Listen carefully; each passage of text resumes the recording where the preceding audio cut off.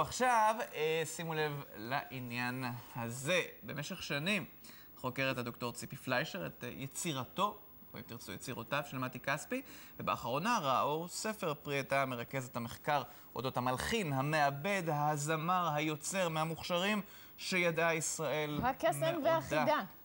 זה נכון, מתי כספי. שלום לך, דוקטור ציפי פליישר. שלום וברכה. מה כל כך מיוחד ממתי כספי, שמבדיל אותו מהרבה אחרים? מתי אה, הצליח גם לאחות בתוך השפה שלו את כל המקורות של הזמר העברי עד היום. שזה סוג של סולמיות קצת מזרחית עם איזה ריח מיוחד שאנחנו יכולים לשמוע אצל ידידיה אדמון אפילו ואצל דוד זהבי ואחר כך מהדורות היותר מאוחרים כמו סשה ארגוב זה נמצא אצלו וקצת הרמוניות של ג'אז. כלומר בין היי שלום עליכם עם בועז שרעבי לבין זו ילדותי השנייה. והוא מחבר את הכל ביחד לאיזושהי איכות אחת של אקורדים מסוימים, מהלכים מסוימים, וזה חוזר ומשתפץ כל הזמן, ואתה כל הזמן מרגיש שיש שם את הייחוד הזה עם העושר הגדול. אני צריכה לשאול אותך, את מעריצה שלו? לא כמו בנות הטיפש עשרה. היום בנות הטיפש עשרה מעריצות מתי כספי? לא, כנראה ש... אני חושבת... אתה יודע מה, מאז שהוא בבית ספר למוזיקה אולי. יש מצב, נכון. בוא נאמר דבר כזה. אמ, אני חוקרת הרבה שנים את הזמר העברי. אז זה לא תמים כל כך, כן? אני הצלחתי להבין שכאן יש איזושהי תופעה. הוא פנומן.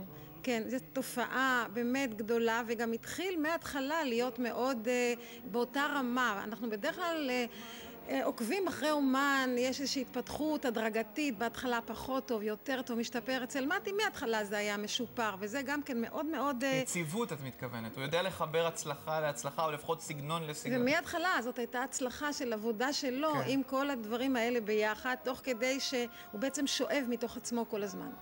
כן. עשרים שנה את עובדת כן, על הפרויקט כן. הזה. עוד שוחחת עליו עם אהוד מנור? בוודאי, אהוד מנור. עוד לפני מתי כספי. כן, אהוד מנור, לא, אה, בוא נאמר ככה, עם אהוד היה אפשר לדבר בעיקר על הרקעים של השירים שהם עשו ביחד, זה היה מאוד מעניין, כי שם הייתה סימביוזה מאוד מיוחדת של ממש מילים ולחן כמו יד וכפפה. אבל אני כבר לימדתי סטודנטים שלי עוד בשנות ה-70, כשרק מתי פרץ.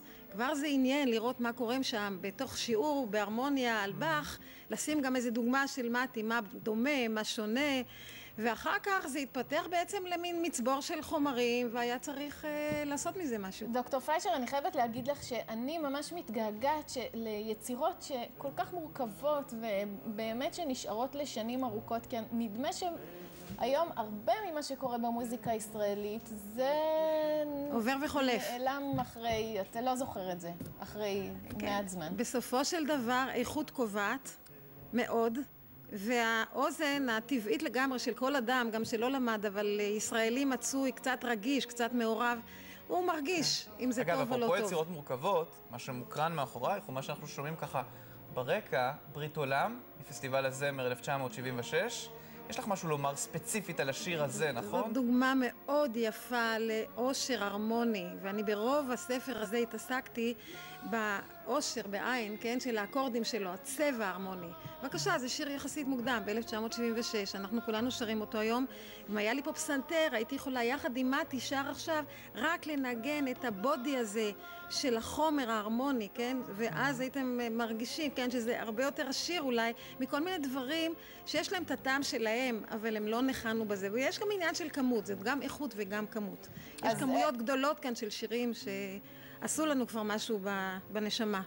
אז הספר הזה הוא עם uh, מבוא ביוגרפי וציטוטים שלו, ועליו, ותולדות חייו, וגם על הניתוחים uh, uh, של שירים. זה בדרך כלל ספר שעושים למישהו אחרי מותו.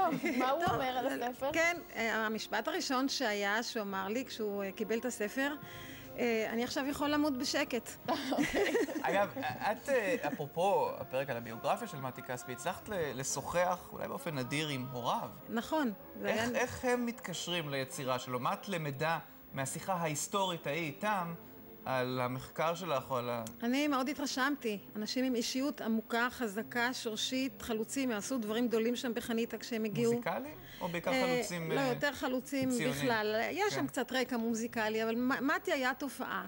הם הצליחו בכל זאת, לילד הזה מהקיבוץ, שדי חונקים רגשות שם בילדות, בקיבוץ של פעם, כן? אה, בכל זאת לקחת אותו לנהריה, ללמוד, להביא אותו הביתה, לדאוג שהוא כן ינגן כל יום. זה דברים שהם השקיעו בו, הם דיברו על זה בצנעה, אבל גם אה, בגאווה. ומשם... הרבה מאוד כלים, אה?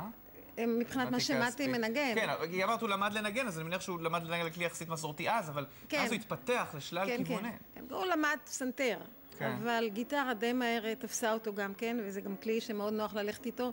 בתקופת הצבא הוא כבר היה הרבה מאוד עם הגיטרה. אחר כך, תוך כדי שהוא רצה בעצם להלביש את הלחנים שלו גם בעיבודים, אז הוא אה, לימד את עצמו כל מיני כלים, כלי הקשה, מפוחית, כל מיני דברים, והוא אה, מנגן הרבה מאוד שירים לפעמים גם בהקלטות וגם בהופעות בעצמו. והוא מאבד גם בעצמו, וגם שר וגם מלחין לאחרים, וגם וגם וגם. זאת אומרת, הוא, אה, קסם וחידה. קסם משום שהוא באמת מאוד עם עצמו מצד אחד, כי הוא יכול לעשות המון דברים, מצד שני יש מספיק הוכחות שהוא שיתף פעולה עם המון אמנים. תודה רבה לך, ציפי פלשר, בהצלחה עם הספר. בהצלחה. יודע?